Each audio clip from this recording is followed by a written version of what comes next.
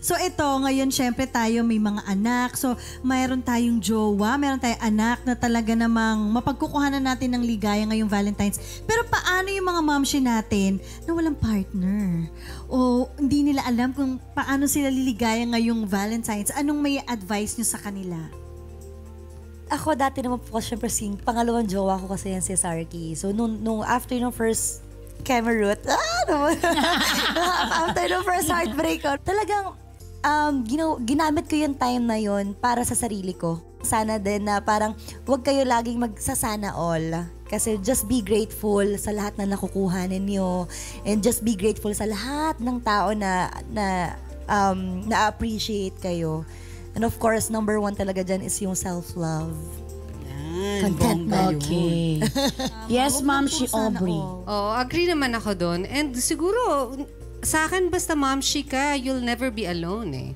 'Di ba? Ito yung, ano eh, kung feeling mo na lagi kang kasama mo yung mga anak mo, so kung gusto mo talagang mag-celebrate, pwede naman din with your family. It's, for me, it's all the same. It's just that it's a special day. They treat it like that. Pero kung gusto mo ng alone time, yun siguro yung pero excuse mo na, oh, can I go, yun nga, yung self-love, pwede kang magpa...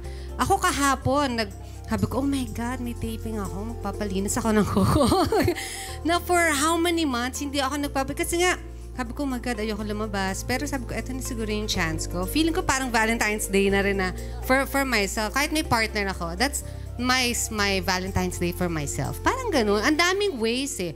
Kids, for yourself, for your partner. Diba? Pero tama yung sinabi ni Karen na talagang medyo medyo ka nang maging kuan din tayo dun sa sana all. Kasi tayo may kanya-kanya naman tayong happiness at maging grateful tayo. Pero kasi, um, ang love naman is talagang hindi naman sa partner lang.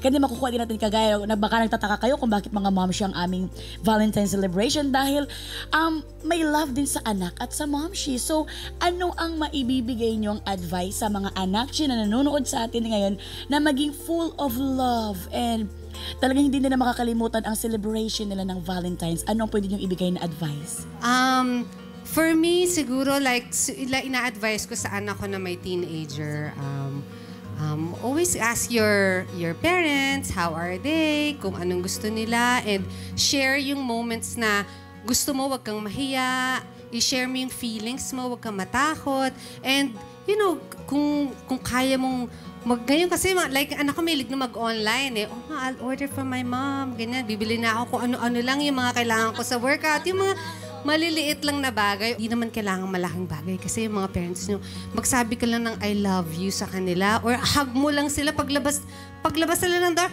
Good morning, mommy! Ah, happy na yung mga parents. Happy na kami nun. So, don't think big. Just be natural and ano, alam mo yung pair, yung nanay mo at tatay mo, alam mo naman kung ano yung gusto. So, ikaw nang bahala. Just love.